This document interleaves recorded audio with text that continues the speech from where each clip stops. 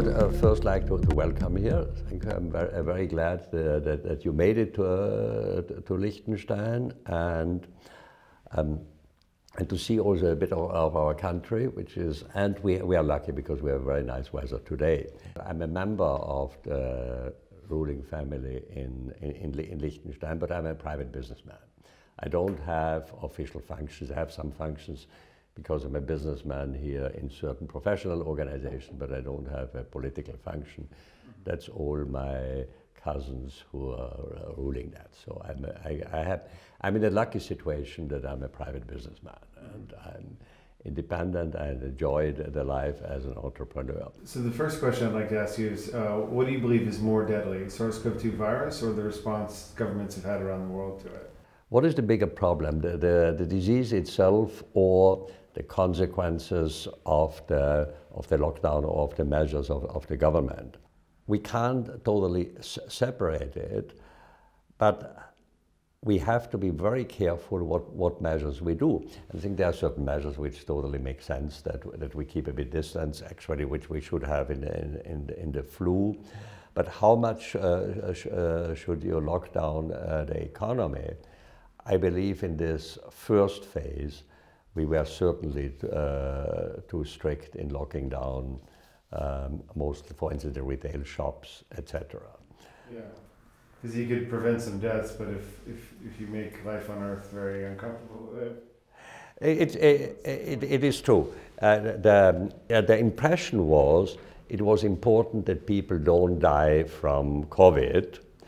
It was less important what are the collateral damages.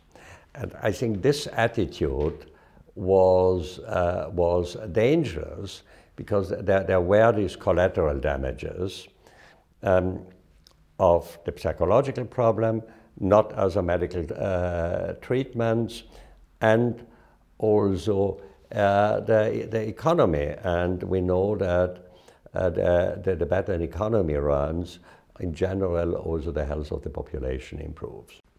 When the question is, is, is the response worse than the, uh, than the problem? Uh, this, this will be judged finally by the benefit of the hindsight. But at the moment, it seems to me that the response uh, might have created more problems than the uh, disease itself. I don't want to, uh, to attack anybody and I don't want to criticize because it, was very difficult to decide what to do because it, it was a, a new thing. What in my uh, opinion was wrong was to create panic. Panic is always a bad um, thing because uh, you will nearly uh, inevitably take the wrong conclusions. Yeah it is clear that we can't prevent all risks. Bad things can happen and can disturb mm, our, our, mm, our, our systems. I was surprised by, by both, uh, actually, by the way of the quick spread of the disease. I think the panic was unnecessary. Cautious, yes, but, pan, but no panic. Yeah. And um, have have you ever experienced or witnessed such coordination of, of policies globally and, and under the UN today? There's a common thinking we have to do something. The, the way it's done is different. I know that, uh, for instance, the World Health Organization said once it's a global problem and that needs a global solution. And I think this is, uh, this is a bit of a wrong approach. Uh, it, is, it, it has become now a global problem. But the solution to diseases you can only do locally because habits are different, people are different, the way economies, the way cultures are, are different. I'm, I'm a big friend of the decentralization because um, you can always take better decisions in, in, in smaller entities because it can be more, much better adapted to the, to, to the case. And it's also uh, very human. It is also more accountable if, if you have it uh, decentralized. People un under, understand it better. And you should not try to adapt people to a system. You should adapt the system to the people. In the first lockdown, closing simply the borders didn't make much sense because, uh, for instance, in Germany, there were very different problems in different areas. So I think this is done now better that one leaves the, the, the borders more, more open. And um, this, and to, to take even in the countries like Germany, which is a medium-sized country, to have a one size fits all also doesn't work. Yeah. And you have to distinguish also between towns and rural areas. And situations in Bavaria are different than the situation in Hamburg. And, and do, does the focus of the UN WHO uh, pandemic response policies, do you think they, do they appear to you be, to be more about controlling people or controlling a virus? it should be controlling the virus, and the World Health Organization, I would see the role, which was also the original role, which was very good, to collect know-how, to bundle know-how, and that people can use it in the different, or the different member countries and can use it, this, this, this know-how. And I think this is, a, this is a very important function, that there is something, but it should not be able to give orders what should be do. They could give certain suggestions, but, but, but, but not orders. I think responsibility should stay and, and, and should remain local. Now, what is the motivation? I can't really look into the, into the brains of, of, of the people who, who, are doing that. But I think organizations generally believe that they are good at every, and a world should again adapt it to their, um, uh, to their feeling. And I think it's, uh, it's a certain uh, bureaucratic centralization mentality, which actually always happens when organizations get too big. So, do you think the WHO has gotten too big? Um, I believe quite a few of our international organizations have become too big. I don't know how big the, the WHO is, but um, I, I think this organization normally get too big. What are the prospects for human liberty and freedom going forward after this year? From different ways, as well politics as technology, we have um, a drive to overregulation. It starts with the, I'm not talking about the UN now because this is too complicated for me, but let's start with the G20. The G20 now try to issue through OECD and other ones regulations which should be, uh, which should have a global standard. And then we have other supranational organizations who are doing that and who are trying to enforce it. Then we have national regulations, which are also mushrooming. And we have a regulatory network now, which does not leave much room anymore for individualism. And which starts also to, to get more and more standardized. And I'm very much a friend of innovation. I'm also a friend of digitization, but it's also very dangerous because with digitization, used by a national and international bureaucracy, you can more and more put people into categories, control their processes, regulate their, their process, etc. Now, this, um, this process is, is also running. Now, the, the pretext of a disease is a good pretext to even strengthen that. And from a purely virological way of things, this contact tracing with these apps makes sense. But I'm, I'm, I'm very afraid of that because you can control the person. And I don't know what uh, you happen. There is in Europe this data storage on, data, uh, on, uh, on telecommunications. When your telephone calls have to be stored by the provider for two years, and the authorities have access to that. They said, and the authorities have access to that. This was ruled by the European Court as against the European Charter of Human Rights. but it's still in force. And I'm a bit afraid that the, the, the, um, the data of this contact tracing will also then be stored because it we have to fight terrorism and we have to fight, you know, terrorism and we have to fight crimes. So we leave it to, uh, to get people more um, uh, secure. But uh, we are not protected against the misuse by governments of that. And this, uh, this makes me fear. And I don't think there will be a law coming, a force coming that will force you to have these apps. But it might be that, for instance, you can't take an aeroplane flight without having such a tracing app. I think it, uh, it could be in influenced by that way that you more and more have, have to use it. And I'm, i might be too long now saying that, but I'm, I'm, I'm very worried of that. And if we look, we have this, Europe is very proud on their uh, general rules on data protection of individual data. But this protects us that, for instance, companies have our data, but it doesn't protect us against the data collection by the government. And this is enormous. Yeah.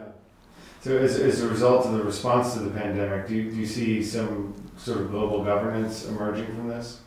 I, I, I don't think it's, it's, it's really emerging from that, but, but it can strengthen the way, I would say, to more government control and maybe also a little bit more to global, global rules, yes. But uh, I think this, um, I'm not too afraid about them because they are normally broken. So I, I, don't think the global rules will last very long because politically we see, for instance, China works really on a very hard decoupling. Is, so Prince Michael, do you believe global centralization of political power is a good thing?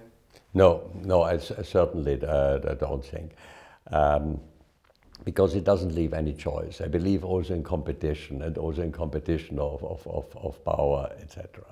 So I don't think a centralized global power. That they discuss, they should, should discuss globally, but uh, there shouldn't be a, a, centralized power. And, and what happens when we do see centralization of power? Uh, well, I'm, I'm First, I don't believe it, it will totally succeed, but it can uh, create also the way to that quite a lot of damages. But centralized power is per se bad because uh, we have never had a time in history where power was not misused. And if we have a centralized power, it's just one who can misuse it, and, and you can't even, even, even live it. So no, I'm, I'm, I'm very much against uh, global centralized power. It, it, it, it, it, can go in, in, in, into different directions and in, in different uh, ways. And I think, you know, um, central world government will, will never work. Uh, but the, the idea exists, as a utopia there. Yeah. A, a, benevol a benevolent sort of world government. I, I think uh, quite a few like the idea of utopia and think it is their vocation to, to, to, to, to create it. Whether in the deep of their mind they like the power or the utopia, I can't judge. Yeah. And they might not even know it themselves. Yeah. And is, in, is human dignity and freedom more preserved in small states like your own or very large states? So I would say small countries have the advantage that uh, governments and ruling is much closer to the people. So the accountability is much higher. But this can also be done in larger states with a, a large degree of centralization. That you can have decentralization, with large degree of decentralization, that you can have uh, lots of things which are decided, let's say, on municipal, municipal level, and only which can't be decided on municipal level, you do then on provincial level and then on, on national level. So you, you can get to that. And with small countries like Liechtenstein, you have the advantage if somebody thinks that his freedom is limited, it's very easy to emigrate. Great, yeah. And um, are you concerned by the behavior of the media this year? Well, yes, I'm, I'm, I'm concerned, and I'm very concerned that there is very little plurality in there. There should be a plurality of opinion in media there's, uh, there's very little uh, plurality, as there's very little plurality in politics.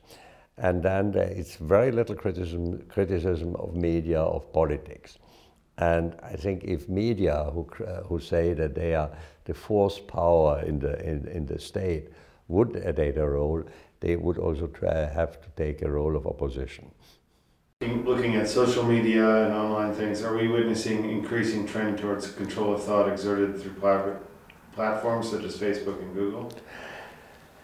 You know, yes, uh, yes, I think we, we can fear that. Normally, I'm not afraid of, of, of private platforms.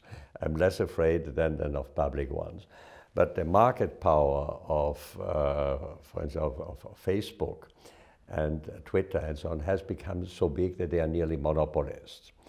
And when they start with certain ethics committees, etc., it's a bit like a censorship. So I think it's very important that we get, got in, get in the social media area competition into it. And for me, it's also nearly a case for an antitrust yeah. uh, procedure to, uh, to, to, to, break this, this power. I'm also against that the state has, the, has then the power to, to, to control that. So I think it would be better to uh, by competition. Social media has the advantage that everybody can express himself, and I think this is very important. The next question I have is, um, do you think that political oppression always comes from the state, or can can private interests corrupt use the state to protect its operations? Well, I think uh, uh both, both, both, both can happen, and, and, and we have uh, crony systems, and it can be very uh, profitable for private businesses to, to be close to the state. But it's, it's very dangerous because it also it, um, distorts competition, it, distor it, it, it distorts markets, and uh, so I wouldn't, I wouldn't be categoric ab about that. But uh, the, the state has one advantage. The, uh, the state can uh, enforce things which private business can't. They, can enforce it? They can, the state can enforce it. Yeah. So uh, the power of the state is, is, is, is, is much bigger. But it, but it can also be misused in a corrupt system by private businesses. Yeah. But I couldn't say categorically this is the bigger danger of, of, this one. Sure. I just I just feel like in this corona situation, the media is marketing this fear, and then the platforms, the, the general policies of WHO, but then then then the media platforms, the online media platforms, are sort of enforcing it privately. This is right, yeah. So it's a tricky situation. It's a very tricky situation, yeah. yeah. But for me, it's a crony situation. Yeah. So how, how does it? How, could you elaborate on that?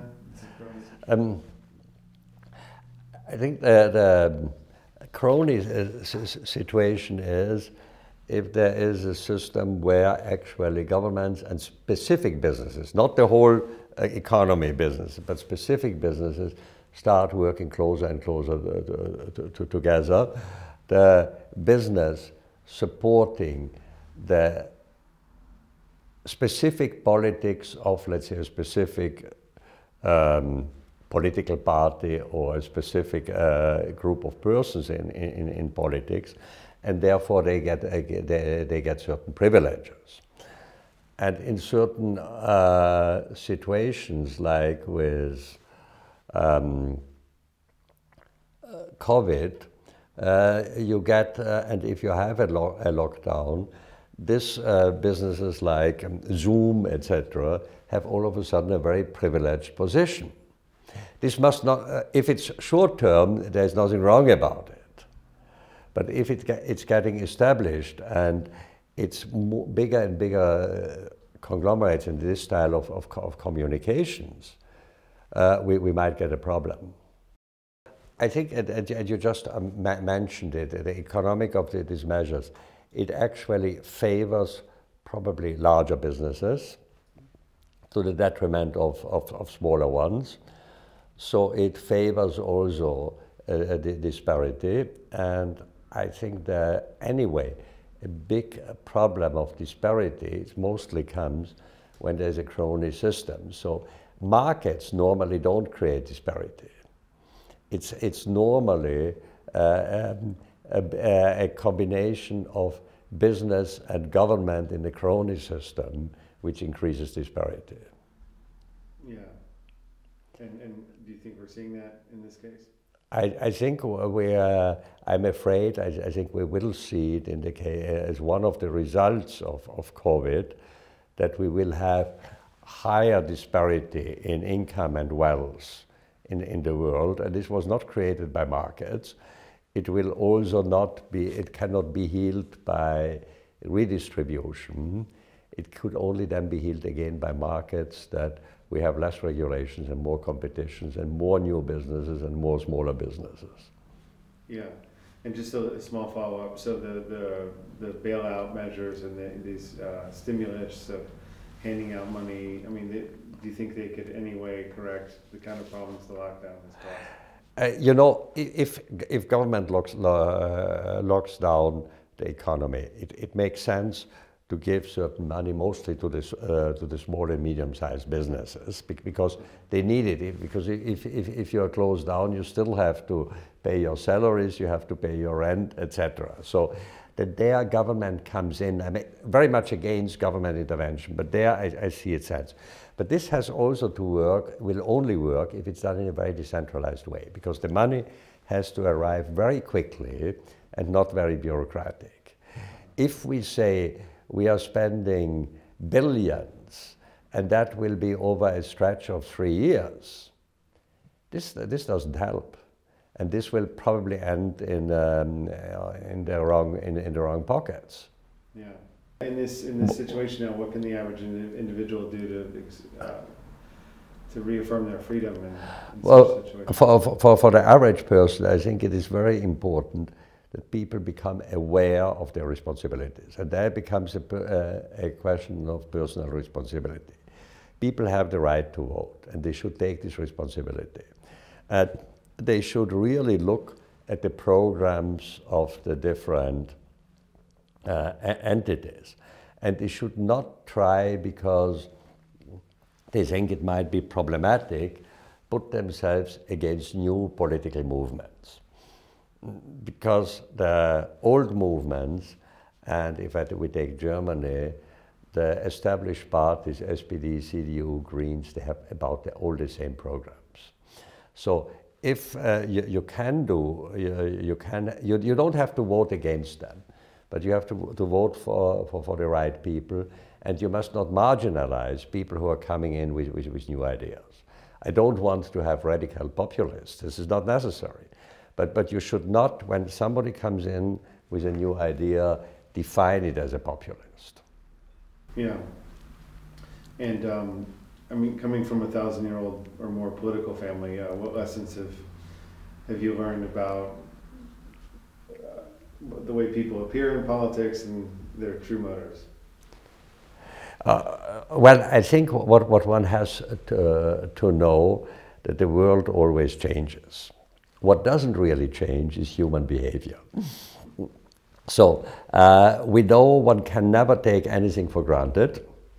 One has always to take one's responsibility. One has to take a long view, try to be courageous, try to, to, to, be independent. Um, and, and to know there is nothing which is uh, secure. So uh, you have always to re-establish uh, yourself. And you know, the, the Liechtensteins as a family, we were over these years uh, nearly totally expropriated a few times. We always came back. But I think it was a very important uh, way of education and understanding that everybody has responsibility for himself and should not, de- uh, and, and should not really depend on other ones unless you, you have a grave disease or something, we, we would help. But actually, you're responsible for yourself. And are we dealing with more challenges to be independent through this, the events of this year? What do you mean? It is? Have the events of this year challenged the ability of people to be free and independent? It, it shouldn't challenge because if, if that challenges this possibility, something would be very wrong, but also uh, uh very wrong with, with, with, the, with the people. So I, I think it, there is a danger, as we talked before, through technologies, through more regulations, for, for, for the freedom and, and self-responsibility. But actually, I don't think that, that we should say this crisis makes it much worse. It gives a pretext to, to, to limit it. But it doesn't give an excuse for people that they don't use their possibility to take self-responsibility. Um, So, do you feel that we can trust the UN as a, as a political body, or is it corrupt? I, I wouldn't trust any political party. to, to, to, to start with, I think we should rather trust in people. That's why I also like, uh, prefer, let's say, the British parliamentary system, where the constituencies, you elect a specific person hmm, and not a political party. And this goes also for me for all organizations. Okay, so um, what would be your ideal outcome of the situation we find ourselves in this year? Well, I think that the ideal outcome would be that um, uh, people realize that um, big disruptions and negative disruptions can happen, and, and we have uh, means to, to handle it. And I think that this, this, this, this would be quite important and to say, okay, uh, and to take the lessons out of it and say, we, if we have the next issue, it might not be a pandemic, it can be, I don't know, a big global cyber breakdown or, or, or whatever, that we don't fall in panic we have to keep a, a, a, cool, a, cool, head and really to, to think what can we do. And I think we should then rely, again, more on local experiences and personal responsibility. Okay, great. And, and uh, what would be the worst outcome? uh, uh, for, for me, the worst outcome would be that we have a lot more control control of the individual and with the control limiting of personal freedom. And there's much more used this word which governments already like. They say trust is good, but control is better. A democracy can only function on mutual trust and not on control. Well, I think we, we talked about this self-responsibility. We talked the, the, that we know um, not to take anything for granted, that everything changes. You have to take a multi-generational view. Mm, um, and I think if you have that in your, a bit in your DNA, in your family DNA, it is very helpful. And then you know that you have to take personal responsibilities.